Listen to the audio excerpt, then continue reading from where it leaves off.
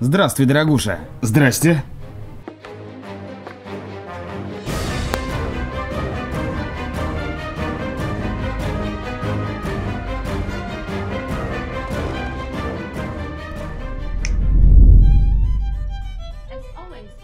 Мне, как всегда, бокал пива и картофель фри. Постарайся побыстрее. Да, конечно. Бокал светлого пива и порцию картофеля фри. Дай мне на 43-й. Принято!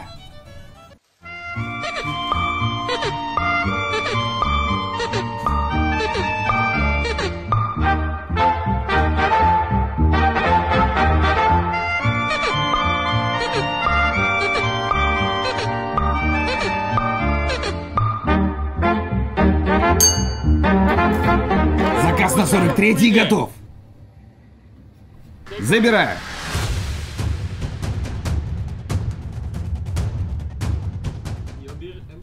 Ваше пиво и картошка фри. Вы что, эту картошку выращивали?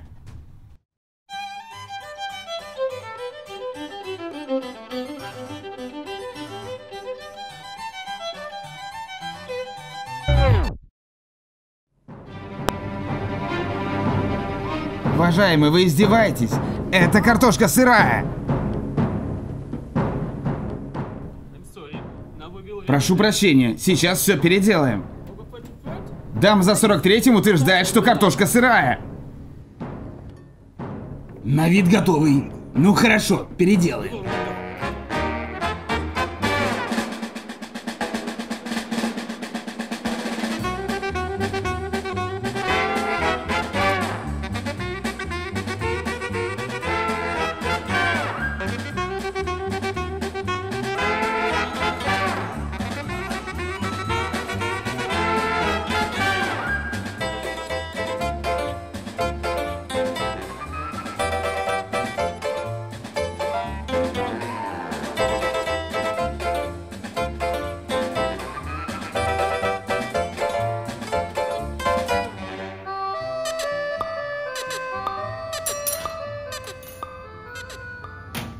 Готово! Забираю.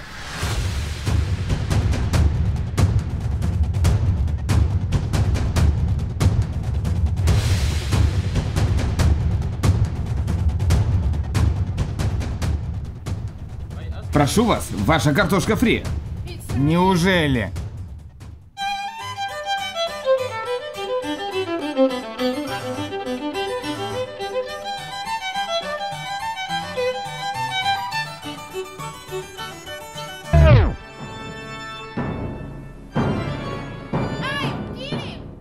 Вы издеваетесь? Вы что, не можете приготовить картошку?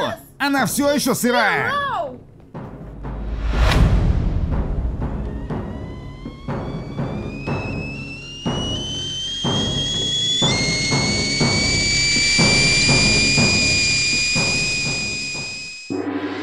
Fight!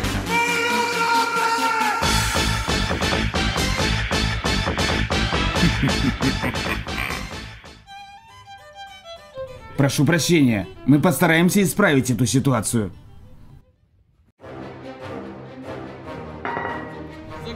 Гость по-прежнему утверждает, что картошка сырая. Ну хорошо, сейчас пожарим как надо.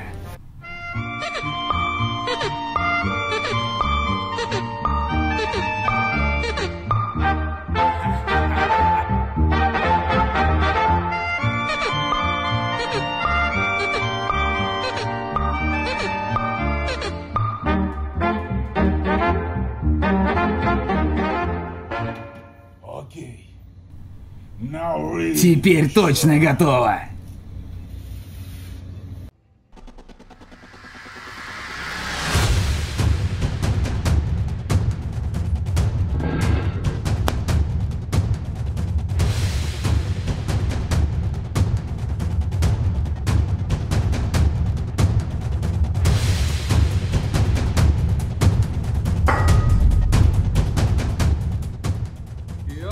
Ваша картошка теперь должна быть точно готова.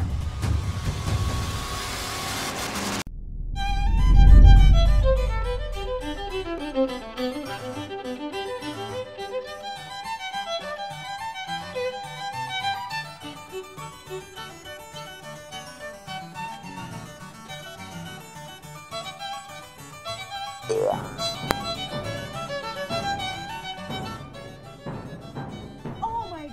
О боже, это фантастика!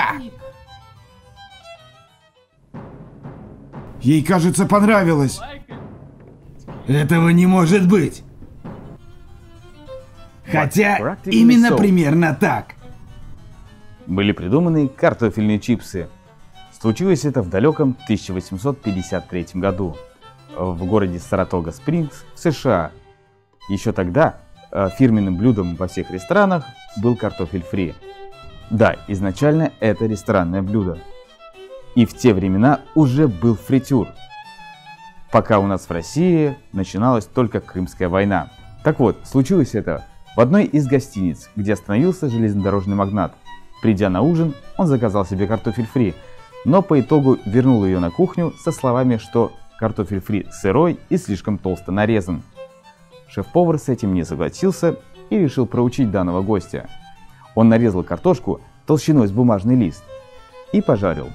Но на всеобщее удивление, данное блюдо понравилось гостю, и по итогу это блюдо стало фирменным блюдом данного ресторана.